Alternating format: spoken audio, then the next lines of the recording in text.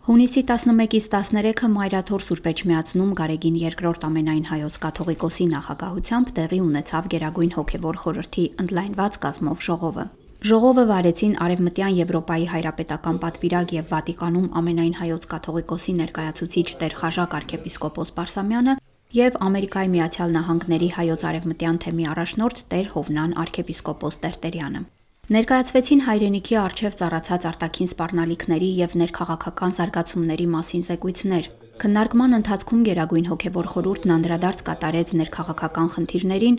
անվտանգային մարտահրավերներին եւ հունիսի 12-ին Երևանում խաղաղ ցուցարարների նկատմամբ ոստիկանների կողմից անհամաչափ ուժի գործադրման միջադեպին։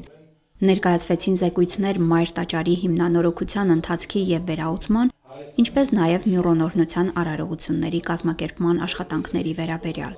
Նշվեց, որ Մայր տաճարի վերահսկման, Սրբալույս Մյուրոնի օրհնության արարողություններին եւ հարակից մյուս միջոցառումներին կմասնակցեն միջեկեղեցական պատվիրակություններ, մեծանուն եւ վաստակաշատ ազգայիններ։ Ժողովի ընթացքում քննարկվեցին նաև եկեղեցավարչական թեմերի գործունեությանը, կանոնական, իրավական, կրթադաստիարակչական ոլորտներին առնչվող տարաբնույթ այլ հարցեր։ Որոշվեց 2025 թվականին Մայրաթոր Սուրբ Էջմիածնում գումարել եկեղեցական ներկայացուցչական ժողով։